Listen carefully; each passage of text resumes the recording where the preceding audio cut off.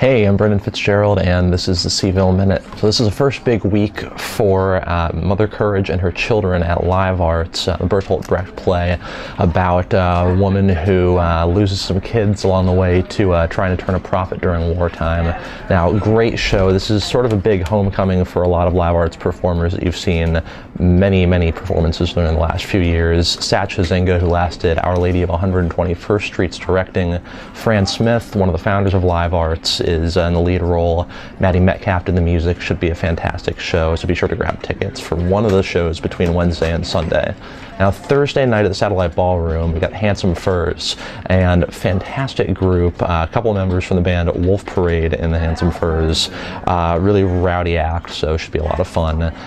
Now, also this week you have First Friday and Friday night, and I'm not going to uh, pick out too many galleries in particular, but be sure to head to Off Grounds Gallery. UVA is going to uh, lose that space in a few months as a bunch of their uh, students move to the new Studio Arts building, so be sure to head over there this Friday.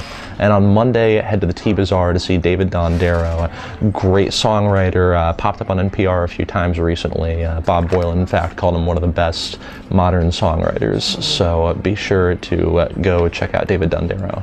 I'm Brendan Fitzgerald. It's April Fool's Day. Trust no one.